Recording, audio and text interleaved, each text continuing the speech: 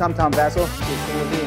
Today we're looking at a game called The Oracles of Delphi. Now this is a game from a very popular uh, German designer, Stefan Feld.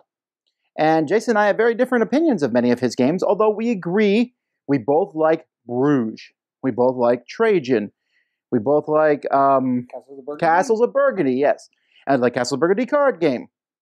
Uh, but there are some of his games I don't like. He does something which I call point salad, which is in the game, you do this, you do that, you do this, you do that, you do this, you do that, you get points, points, points, points, points, points, points. And sometimes I find that a little, eh.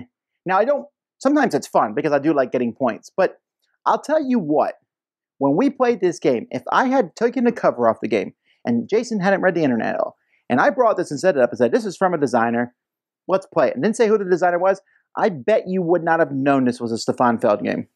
I wouldn't have, and that it surprised me because I'm used to games. You know, we we talk about the other games. I love games like Notre Dame and um, Macao, and there's a lot of other games of his that I really like. And to play a game that is very different than those games is a treat.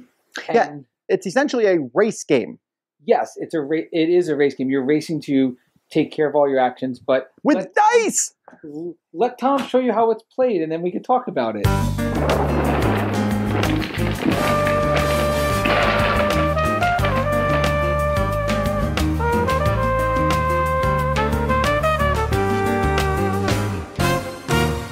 You're going to build a board at random at the beginning of the game. It's going to be placed with different pieces. Uh, there's going to be uh, temples on the outside of the board that have these uh, statues of their colors that are built there. Uh, in fact, the whole board has different symbols. These are basically different colored spaces. You can use it where there's a color border on the outside and the symbol's faded in the middle, or where the symbol itself is colored. It doesn't matter. Both sides are exactly the same. But you can build this board any way you want. The, the, the book the rule book shows you a way to build kind of a symmetrical board. Each player is going to start with a ship at one spot, and you're going to have to go out and do things and then get back to this spot. See, each player has their own player board, and on this player board, at the top, they're going to have these tiles here. You have 12 tiles. You can use less if you want the game to be shorter. And you have to accomplish these tiles and eat, like for example, you know, I, need, I need to erect a statue somewhere. Once I do that, it's gone. Here I need to deliver a yellow offering to a yellow temple. Here I need to defeat a black monster, etc. There's just different, uh, uh, a red monster, a monster of any color. Each player is going to be revolving their turn around these dice here. These are the oracle dice. The first thing a player would do on a turn is to look at any wound cards they have. There are wound cards. If they have three wound cards of the same color or six wound cards in total, they have to basically skip their turn and discard three of their wound cards. Other than that, though, they are going to then be taking uh, some actions on their turn. Usually, you're going to take three actions with the three dice that you have. The colors of the dice matter, but if you don't like the color of a die, you can uh, use favor tokens, spend favor tokens to move these dice clockwise to turn into the colors that you want. When your turn is over, you are basically going to roll and put those dice on the colors that you have. On one person's turn, they're also going to be rolling this die here, which means you're going to be attacked, and then everyone's going to look where their shield is. And if their shield is less than the number rolled, they will draw another wound card from the wound pile and add it to their wounds. So there's a chance you'll be taking a wound every so many turns. Now, when players are using these dice, they can use any color die to draw a card. A card uh, here essentially is like a die. You can use one of these per turn. So essentially, on a future turn, let's say this was on a future turn, I could also have another pink die. So I'd have a pink die plus this. They can also use it to draw two more favor tokens, so you can get rid of any die to get those. Or you can look at some tiles on the board. So there's different tiles on the board with clouds on, and they have different uh, Greek symbols on them, and so you can look at two of the tiles on the board if you want to. You can also use these dice for various things. You can use a die to get rid of all the wounds of that color that you have. You can also use a die to move the god token up on the track over here. Each player has different tokens for the gods, and they'll start with one here, and these tokens will go all the way to the top. Once they get to the top, that token will have a special ability that they can use and then shoot it back to the bottom and start moving it up again. when a player's turn is over and they roll their three dice, each other player can look at their god tokens, and if one of the colors that was rolled is not on the bottom row, it was, it's on the first row or higher, they can move that one. So you're always watching what other people roll because it can help you move your tokens up. And these tokens can get rid of all your wounds. They can uh, let you teleport your ship somewhere on the board. There's a, a special ability for each of the different gods. I should also mention that each player also will start the game with a different ship ability. There's different abilities that they have. For example, this one here lets you spend favor tokens and go uh, clockwise around the board. This one here starts you with two extra shield points. This one here gives you an extra two movement. And then they have a certain number of holes in them to show how much your ship can carry. Now, most of what you'll be doing with the dice is maneuvering your ship on the board and doing different actions. And again, it's with the colored dice. So if I'm here, normally my ship can move three spaces, so I can use a yellow die and go there. Or I could go here with a yellow die to a yellow space. And so you can move around the board with the different colored dice. You can also pick up an offering for one of the temples if you have the matching color and you're next to it. You can drop it off at that temple if you have the matching color and exit. So if I'm here, I can drop off a green offering at the temple, which is one of the things I can I want to do. I can look at one of these tiles when I'm on the board, as long as I have the color that's around the uh, tile border. And then if it's one of the symbols that matches my tile, so I have this tile in front of me, I can put up a structure on there and then I'll, that's again getting rid of one of these. If I don't have that symbol, which is possible, then I'll get a bonus. So for example, this one here would give me four favor tokens. So you can, you're gonna go around the board and be placing these structures up, delivering the different treasures back and forth.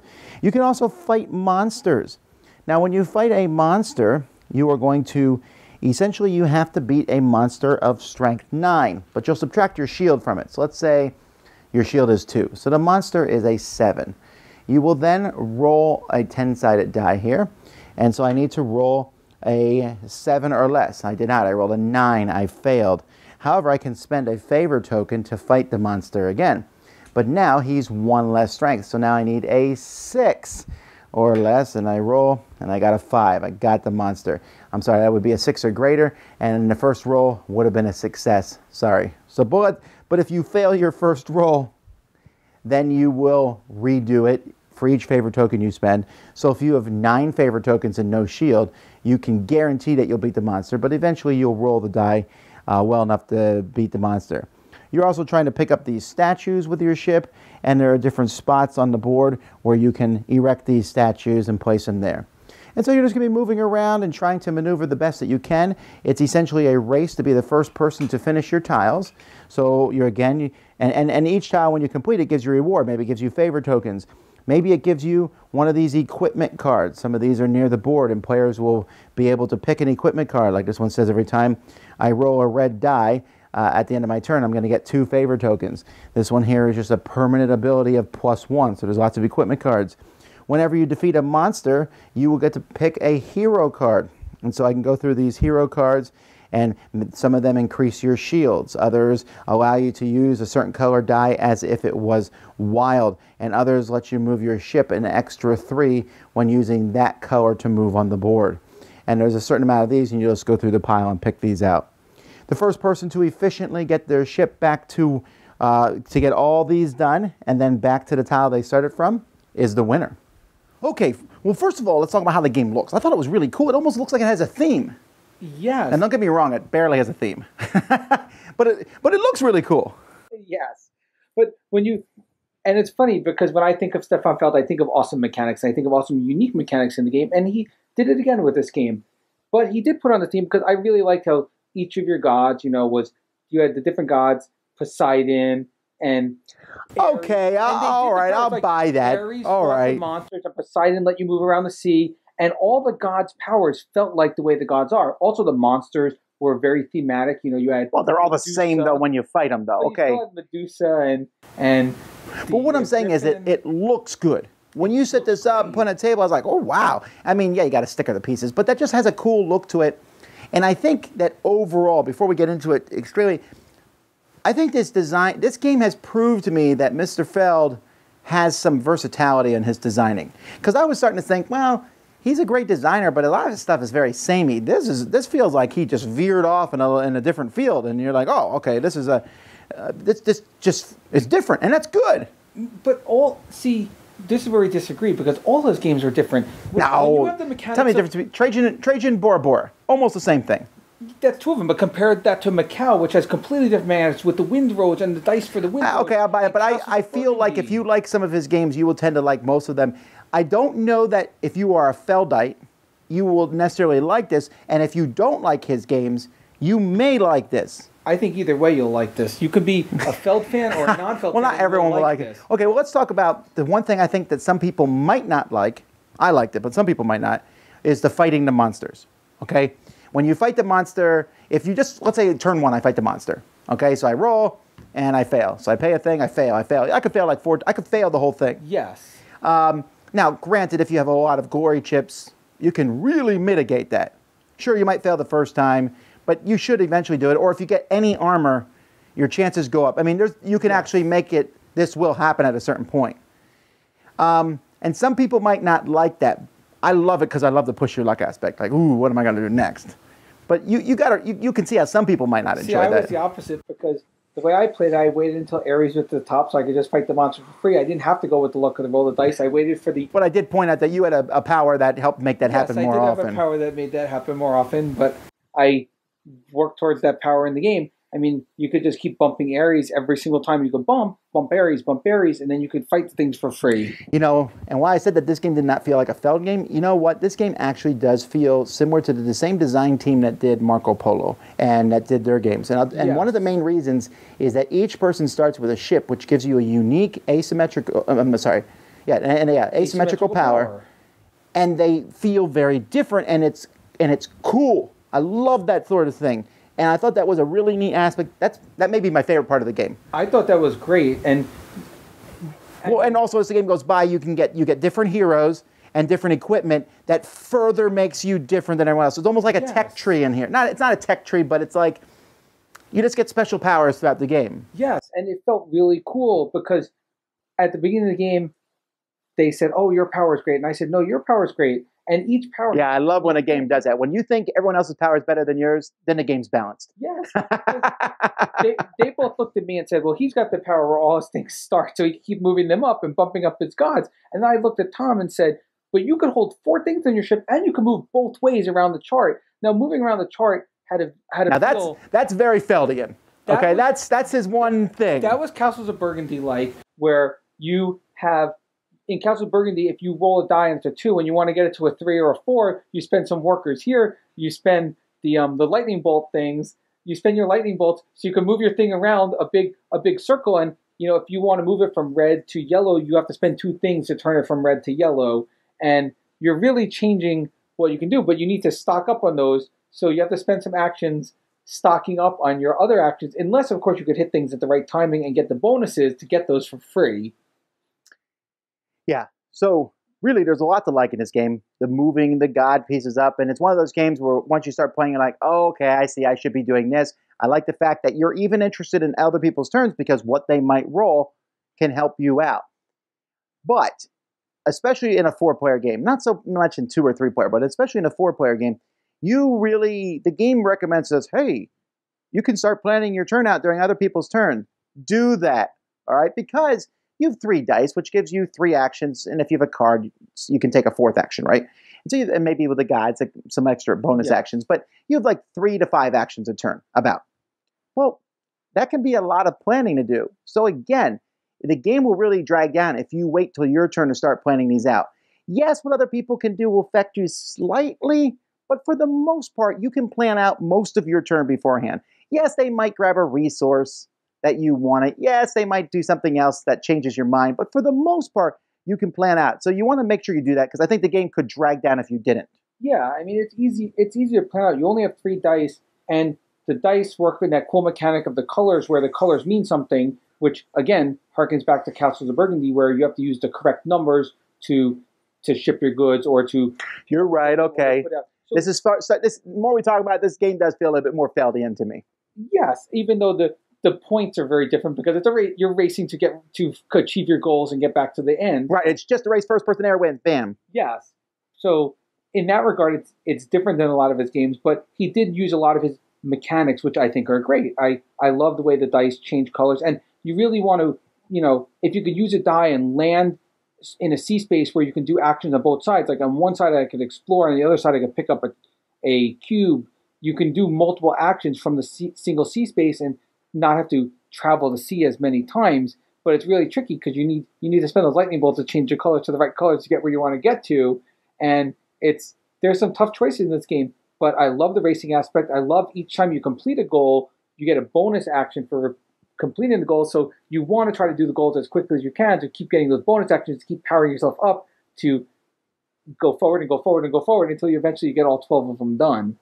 Yeah. So, so uh, what's your awesomeness rating for this? This one, I liked it a lot. I rated up there with some of his higher games. I really like it, and I give it an awesome rating of an 8. Okay. Well, I'm going to differentiate from you by also giving it an 8. Yeah, I agree. okay. So, really, I kind of, I'll be honest, I didn't I didn't know what to think going on. I was like, all right, Feld, we'll see what it's like. Oh, I hear it's different than his other Felds. Well, we'll see. My first reaction putting out was like, well, this looks really cool.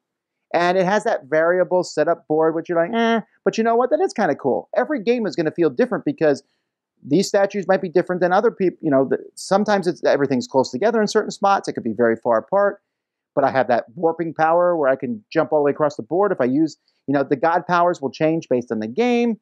It has this whole Feld likes to put in a thing where you get hit by stuff in games like fires and rats and things like that, right? Yeah. And this game, it's the the monsters hitting you and things, but that's not bad, right? That's not a bad thing. In this one, it's something that you see coming, and if you don't, if you ignore it, it's it's problematic. But you can. So you have to spend some. It's those the uh, injuries, the whatever they call the injuries. When you roll that black die and you get all those injuries, then you got to eventually clear out your injuries, or else you're going to lose a turn while you heal yourself. Yeah, so I, I, I find that that's not a bad thing. And like I said, the game keeps moving pretty well. Scale's pretty cool. So I'm very impressed. The next time I hear Stefan Feld's designing a game, I'm going to go into it with much more confidence because he's coming around. I always go into it games with confidence because Feld is a genius and he did it again. I love Feld. Okay. Anyway, until next time, I'm Tom Vasel. Jason Levine.